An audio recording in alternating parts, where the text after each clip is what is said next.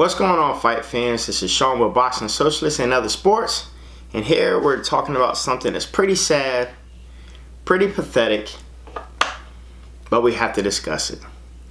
Recently, we just had Jon Jones versus Daniel Cormier, UFC 214. First time they met was UFC 182. And here was the rematch. Jon Jones admitted the first time he beat him, he said, man, I beat you on cocaine. And admitted to doing drugs. He faced a one-year suspension. He has drugs. Been in trouble with the cops. Um, he said he hit it, hit a pregnant lady. I mean, just all kind of mess and trouble. Well, even though he won this one, the results will be overturned. And he was caught with a illegal steroid substance called turinabol. Now, for those you don't know, it's a helps produce lean muscle, all kinds of gains. I learned that from the Hodge twins. If you haven't never watched them, all kinds of gains.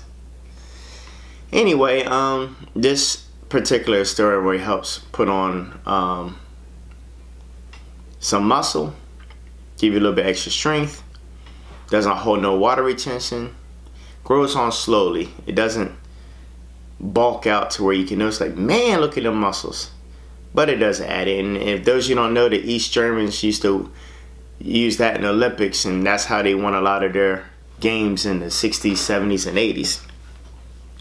The problem with this is the side effects.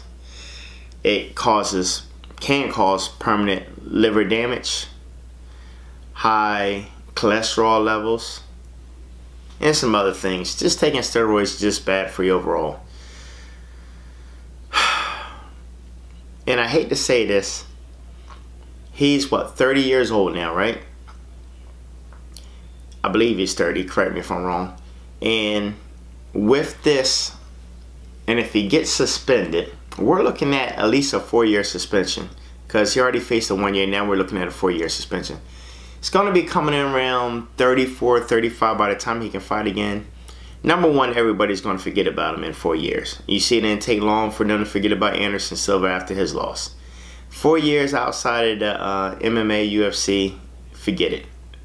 No activity, no seeing your face, you're done and I hate to say it, with all those things linking up, this is a crushing blow. Might send him into a spiral. I hope not. I hope he has a good supportive team around him to help him get back on track, clean up his life. But as far as the UFC, his career is over, and I do see him retiring soon. He might not retire right away. He might have some hope. But after four years of inactivity, nobody's going to take you on you're you're basically done, man. I, I just don't see you come back 34, 35 years old. Um, and if you do come back, it'll just be for a quick money fight.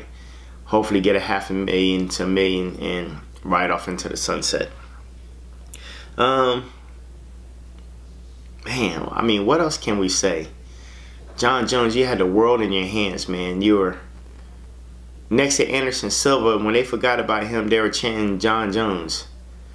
And it's just sad to see his life just spiral down like this. Um, I hope he can get himself together. I believe he's married with three children. Hopefully he can just take this time off, whatever money he does have left. I don't know if they're going to take away from his purse. Ride off into the sunset, get help, and focus on your family kids. Maybe later on you can become a commentator, trainer, who knows. I want y'all to leave your thoughts, comments below. Is this shocking to you?